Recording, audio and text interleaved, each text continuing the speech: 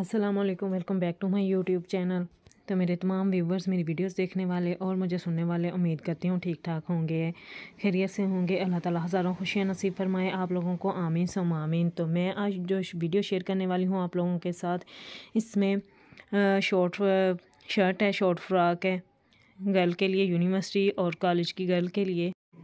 ये cotton shirt है और पैंट के साथ हाफ़ टाइट्स के साथ जीन्स के साथ इजीली पहन सकते हैं।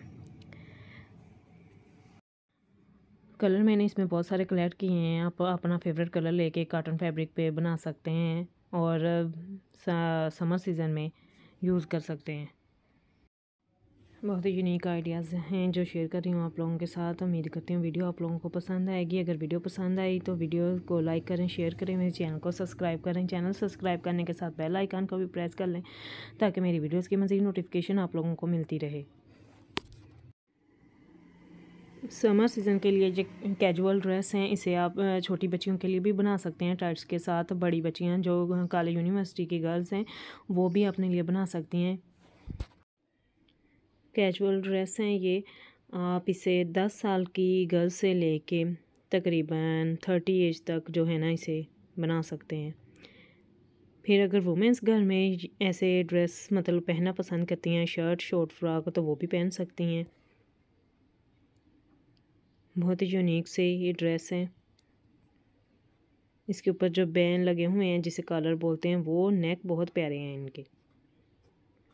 कंफर्टेबल से हैं। सारी तकरीबन तमाम नेक जो है ना, वो कंफर्टेबल से हैं।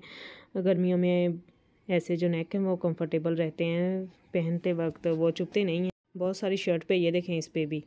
राउंड नेक है। ये बहुत कंफर्टेबल से होते हैं चुपते नहीं हैं। और गर्मियों में तकरीबन हम ऐसे ही कपड़े सेलेक्ट करते हैं कि एक गर्मी बहुत होती है, दूसरा ये होता है कि कपड़े जो है ना, वो चुभे ना कंफर्टेबल से हों, हम सुकून महसूस करें उनमें।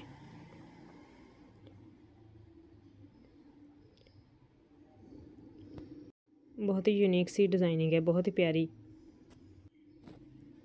लास्ट पे मैं फिर आप लोगों से रिक्वेस्ट करूँगी कि मेरे चैनल को सब्सक्राइब किया करें वीडियोस को लाइक और शेयर किया करें, ये आप लोगों की तरफ़ से प्यार होता है और काम करने का हौसला बढ़ता है। अगर आप वीडियो को लाइक करते हो चैनल को सब्सक्राइब करते हो, एक तो आप लोगों को नई नई चीज़ें देखने को मिलती रहती हैं और दूसरा ये है कि हमारी हौसला अफजाई होती रहती है।